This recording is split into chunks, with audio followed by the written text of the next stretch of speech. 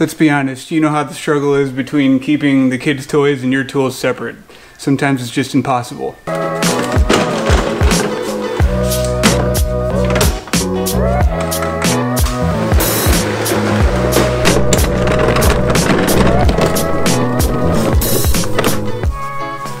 Today we're talking about the Hart 21 inch adaptive speed 40 volt Hart lawnmower.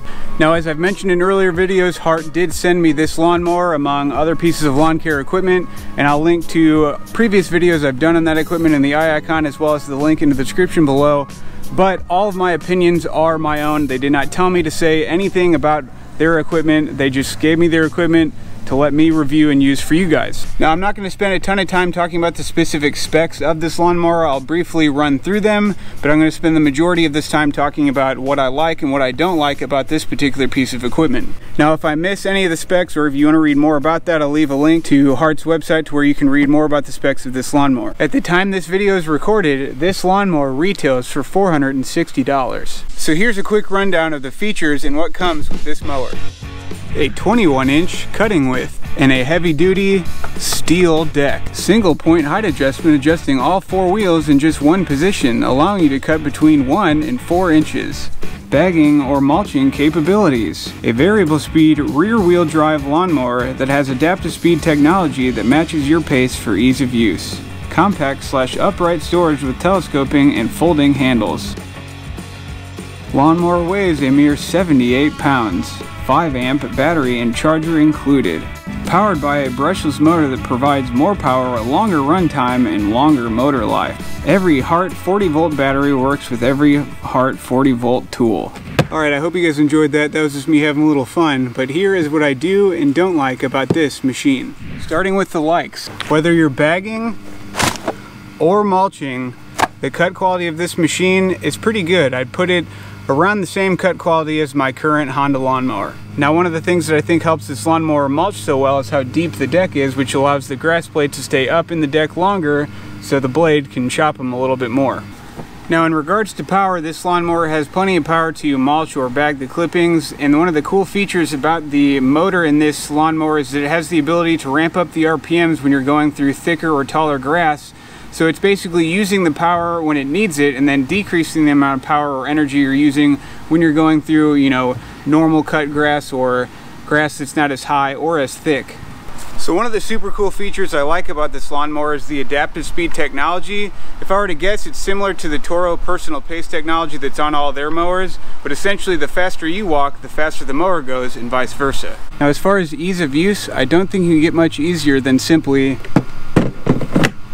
putting your battery in, putting your mulch plug in, and enjoying the mow. Now one of the things I really like about this lawnmower is the single point height adjustment.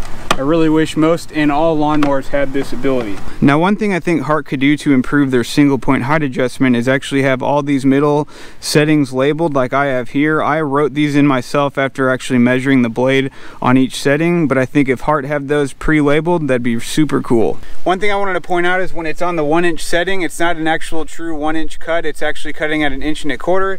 And when you have it on the four inch setting, it's not actually a four, true four inch cut, it's cutting at four and a quarter inches. So another thing I think that's really cool about this lawnmower is how quiet it is compared to your traditional gas-powered lawnmower. Check this out.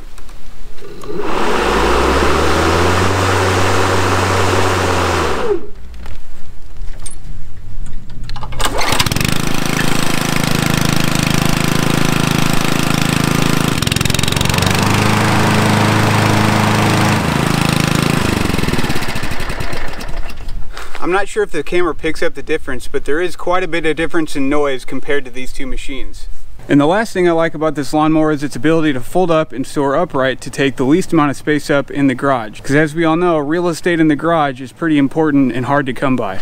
Now while there are many great things I like about this lawnmower, there are several things I do not like at all. The main thing is the battery life. I've found that I'm only able to mow about 5,000 square feet on one fully charged battery. Now again, battery life is pretty much the biggest problem most people have with any battery powered lawn care equipment is the battery life just doesn't seem long enough. I've not seen any battery powered lawnmower that somebody would recommend that lawnmower for a lawn that's greater than 5,000 square feet. Now since I have two batteries, I am able able to mow my entire 9,000 square foot lawn, but I again have to use the two batteries and they're both completely drained by the time I'm done. Now the other thing I really don't like about this lawnmower is how long it takes to charge a completely empty battery.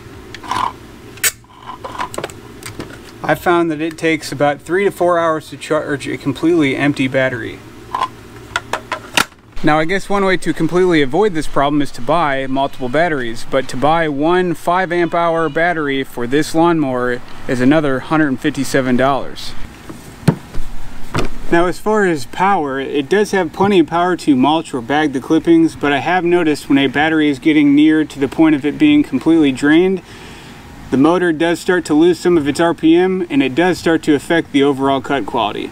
Another thing I'm not super crazy about are these knobs you use to adjust the height of the handlebars. They stick out a little bit further than the profile of these bars, so they can have a tendency to catch on things which can lead to them either breaking off or bending. As you can see on this one, I caught it on something and bent it a little bit.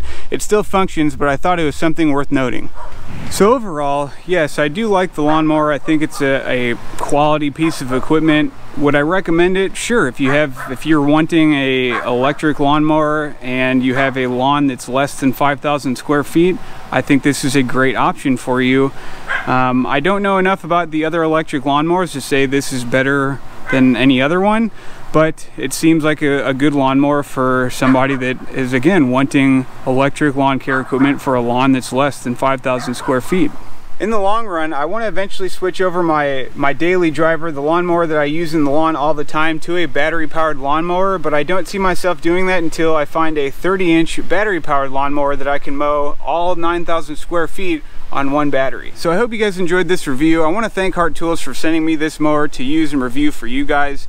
If you guys have any questions or comments about this mower or any of the Hart Tools equipment, please leave that in the comment section below. I tried my best to cover some of the main features and some of the main things that I thought you guys would be interested in. If you liked this video and found it helpful, be sure to give it a thumbs up and don't forget to subscribe to my channel.